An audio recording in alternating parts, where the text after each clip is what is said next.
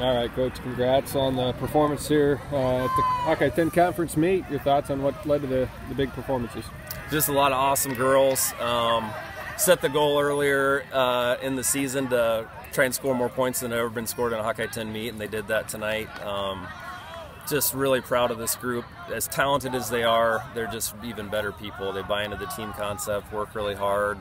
Uh, I'm really lucky to be, be able to coach them. That's a really lofty goal to set, and it's got to feel good to go after it and get it. Did you really? Uh, how excited, I guess, were you that they were shooting for something so lofty at the beginning of the year?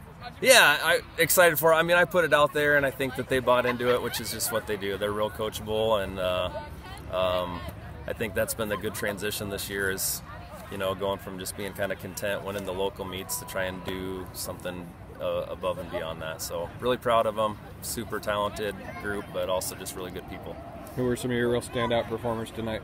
Uh, you know, I'm going to take this opportunity. Our seniors, um, Bailey Bailey Ostrander, kind of is an unsung hero. She does a great job in the sprints. She's kind of the captain of the group, I would say.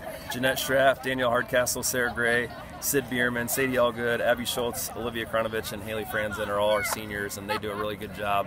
Um, they kind of the previous groups pass the torch on, and those girls do a really good job with their leadership.